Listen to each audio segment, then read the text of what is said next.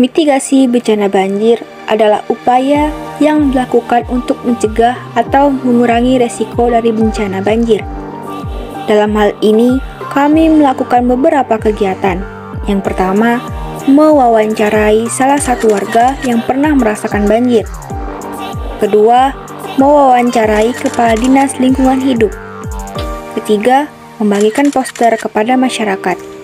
Dan yang terakhir, melakukan sosialisasi kepada para pelajar sekolah menengah pertama.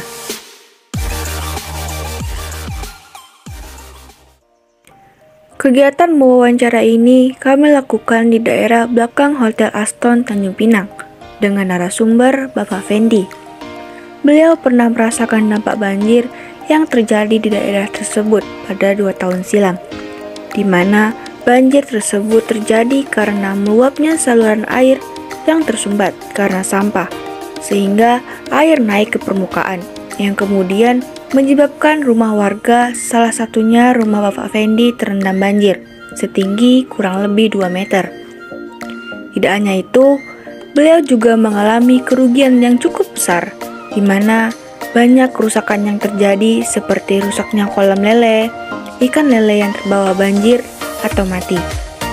Setelah kejadian banjir ini, Pemerintah kemudian melakukan pengerukan di daerah aliran air seperti sungai.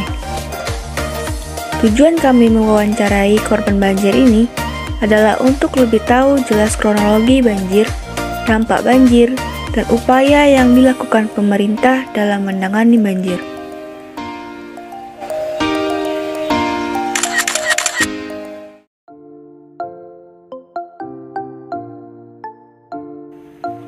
Pada 14 November 2022, kami mewawancarai Kepala Dinas Lingkungan Hidup, yaitu Bapak Bobi. Beliau menjelaskan tindakan yang dilakukan dalam mengatasi banjir, yaitu dengan melakukan pembersihan sungai dan saluran air.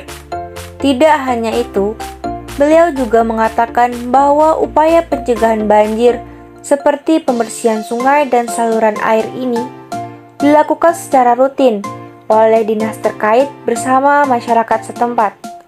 Tidak hanya di tempat yang rawan banjir, tetapi pembersihan ini juga dilakukan di semua tempat yang tersumbat atau kotor. Kegiatan ini kami lakukan bertujuan untuk mengetahui tindakan pemerintah dalam mengatasi dan mencegah banjir.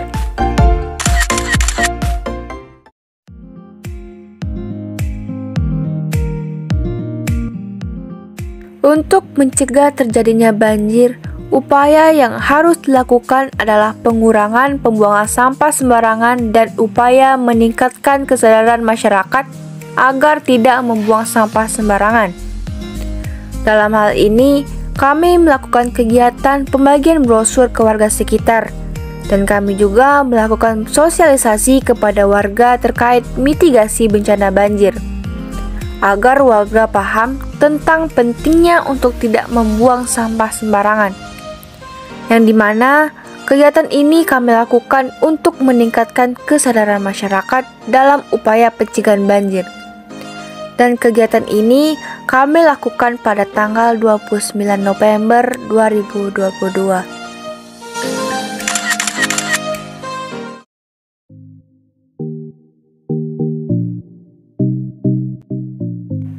Kegiatan terakhir yang kami lakukan adalah melakukan sosialisasi ke sekolah pada 10 Desember 2022. Dan sosialisasi ini kami lakukan di salah satu SMP di Kijang, yaitu SMP 4 Bintan yang berada di Jalan Korindo Abadi, Kijang.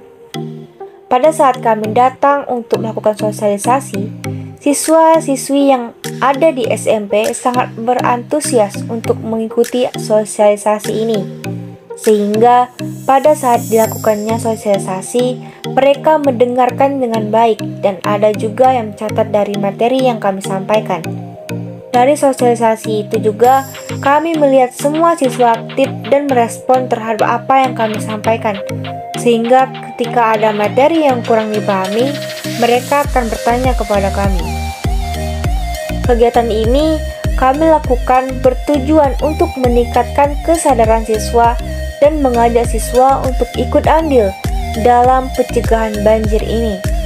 Karena sudah sepatutnya sebagai mahasiswa ataupun siswa ikut dalam mencegah bencana banjir ini. Mahasiswa ataupun siswa sebagai generasi muda juga berperan penting dalam hal ini. Karena jika tidak generasi muda sebagai penggeraknya, maka siapa lagi? Ayo cegah banjir dengan tidak membuang sampah sembarangan.